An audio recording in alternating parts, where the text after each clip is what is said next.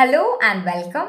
This is Ms. Tabassum. As you know that we have already started with Beverley Naidoo's journey to Jo'burg. In the previous part, we have seen that the two little children, Naledi and Tiro, started their journey to meet their mother at the Johannesburg station along with Aunt Grace. It was the rush hour when they boarded on the train at Soweto, which is the largest black urban settlement in South Africa. It was so crowded that the two children could not get a seat inside the train. So they clung on to Aunt Grace. But on each station, more and more people entered the train. And when those people wanted to get out of the train to board down onto another station, they pushed forward and came near the carriage door. At one such station, the two little children were also being carried forward to the carriage door and they could not resist and thus they got off on the platform. They did not know the station and neither they had any ticket or money to buy the ticket. They tried to get back inside the train but could not as though the train was moving still the people were coming out and few were trying to enter. They could not do anything. But they could see Grace inside the train. She was also squeezed. Though she tried to come down to help them out. But she could not as I've already said the train started moving. They were very helpless and could not think what to do. So they thought that they should go and stand on the overbridge so that if Grace would come, they could see easily. But as they were going towards the stairs, they suddenly heard some noise and commotion. As they turned, they saw policemen in uniform were coming and it was a raid. Search for pass, that is the tickets. Many people were running frantically. Both were very frightened. They couldn't understand what to do. So, these two children thought that they should go to the other side of the platform. But as they were about to go to the other side of the platform, they saw that more policemen were coming from the other side. Now we will see the rest part of the story. Where can we go? Tiro urgently tugged at his sister's hand as the two children saw more policemen coming on the way where they were. Tiro instantly asked where they could go. We will have to sleep past them, she whispered, pulling him towards the stairs. Naledi spoke very softly that they have to sneak through the policemen so that they are not caught by them and they went towards the stairs. Some people were filling into pockets, others frantically searching through bags. Pass raid. It was a surprise checking for the ticket by the police and those some people were frantically searching for the ticket in their pocket, whereas others got busy searching for it in their bags. A man was protesting loudly that he had left his pass at home. It would take only two minutes to get it. The police could come and see, or someone could call his child to bring it. He cried out his address once, twice, slap.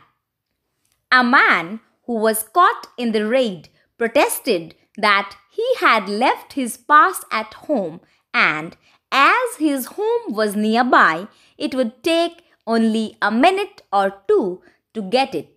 He also added that the police could come along with him and check out the pass, or someone may call his child to bring the pass from home. And as he cried out his address, a police officer slapped him. Hou jou bek barked the white officer in charge. His blue eyes stared coldly as a black policeman pushed the man against the wall. This story actually depicts the life of the black African during apartheid in South Africa.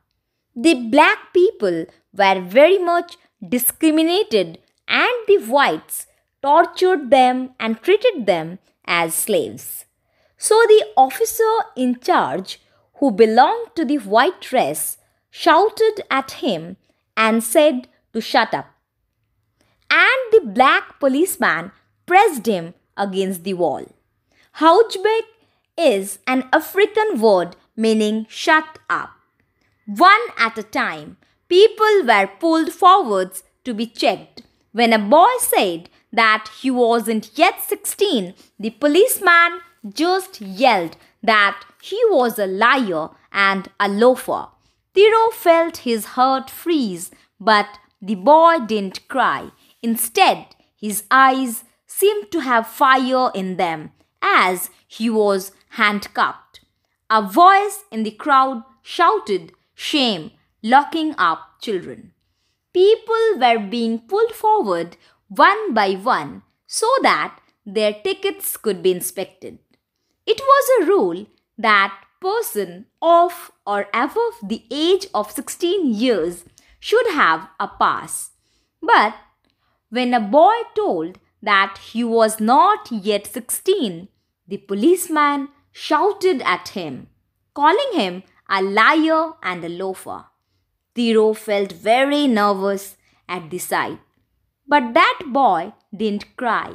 Instead, he had hatred and anger in his eyes as he was being handcuffed. Someone from the crowd shouted that it was indeed shameful that they were locking up children. As the muttering grew louder, a woman spotted Naledi and Tiro and screamed, You will say these kids are 16 next. Suddenly, a woman who noticed Naledi and Tiro screamed out of disgust that the police will be saying these small kids to be 16 as earlier they didn't trust the boy's word and handcuffed him. The white officer took a threatening step forwards. He looked murderous. Then, glancing at the children, he made a sign with his hand for them to go through. The white officer proceeded forward with a threatening look and then glanced at Naledi and Tiro and said them to go through as they seemed less than 16 years of age. We can't stay on the bridge while the police are here, panted Naledi when they had got past. From the bridge, they could see the road outside the railway station.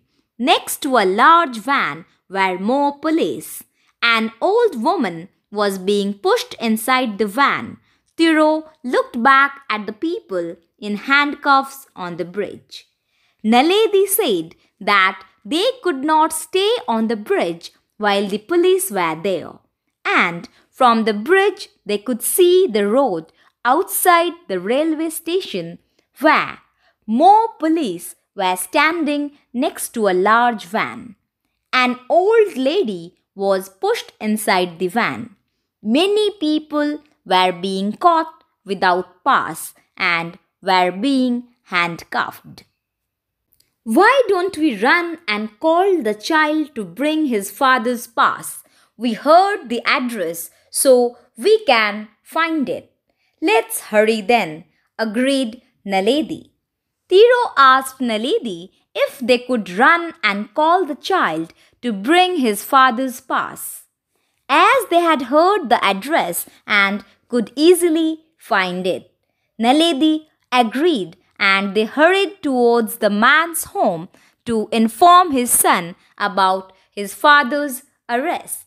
Once past the police van, they asked a lady selling apples at the roadside to point out the way. The children weaved in and out of people as they ran along the stony road between rows of grey block houses, all looking exactly alike. No great leafy trees here, only grey smoke settling everywhere.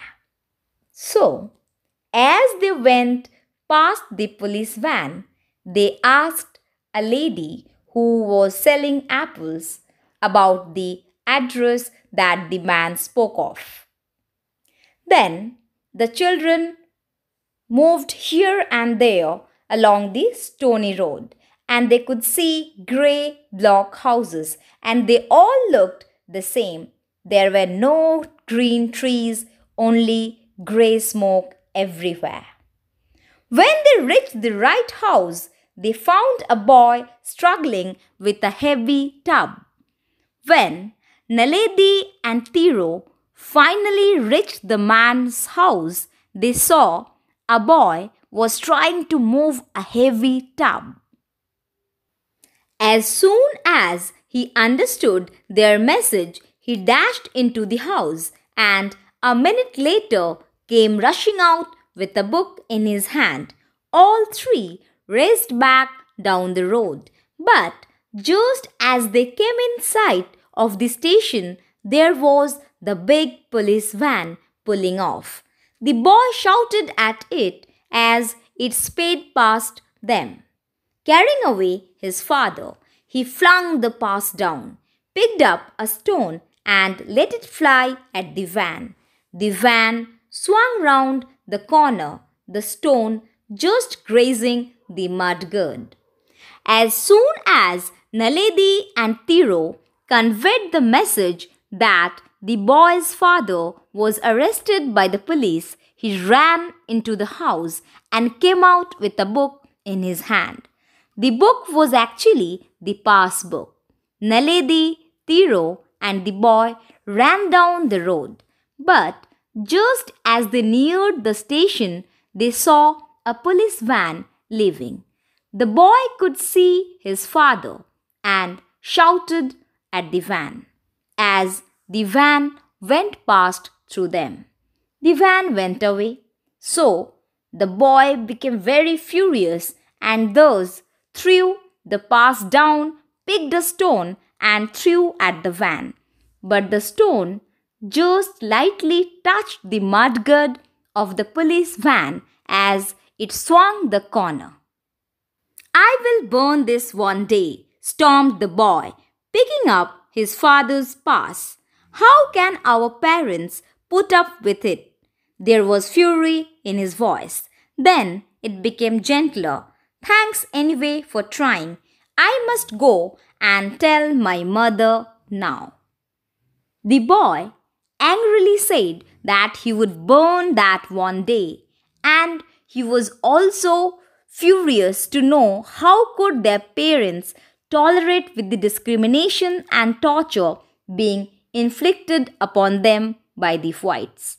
After that, he calmed himself down and said that he should go and inform his mother then and went away. The children stood silently watching as he walked back home. Naledi and Tiro silently watched the boy as he walked towards his home. Naledi, Tiro, startled, they looked around to find from where the voice was coming. It sounded quite far off. Looking up towards the railway bridge, they saw Grace waving. Quickly, they ran back to the station. Suddenly, Naledi and Tiro heard someone calling out their names. They could guess that the sound was from some far off distance. As they looked up towards the railway bridge, they could see their Aunt Grace waving her hand. Soon, quickly they ran towards her. Grace came down with their tickets to get them through. It was a relief to be with her again. This time, I'm really going to hold on to you, she told them, taking each firmly by the hand. Grace came down with the tickets of Naledi and Tiro. The children felt very much relieved on being united with their aunt Grace. Grace then told that she was going to hold their hands firmly so that they did not get separated from her. Do you know what happened to us? Tiro was anxious to tell Grace all. Tiro was very small and thus was eager to tell about the incident that happened with them after they boarded down from the train. Here goes the word meanings. First, frantically, in a quick, disorganized way. Second, pass, a ticket or an official document giving you the permission for something. Third, raid, a surprise search or checking by police. Fourth, Hou jou bek, a word in Afrikaans, the official language of South Africa meaning shut up. Fifth, barked, spoke angrily or shouted. Sixth, loafer, a person who wastes his or her time instead of working. Seventh, handcuffed with hands held together with metal rings attached to a chain. Eighth, muttering, speaking in a low voice. Ninth, panted, breathed quickly with the mouth open. Tenth, pulling off means leaving or moving away. Eleventh, grazing, touching and scraping the surface lightly as it passes by. 12th, mudguard, a flap behind a tire of a vehicle that prevents mud or water from splashing. Here we have come to the end of the chapter. I hope you well understood the lesson. Thank you. Have a great day ahead.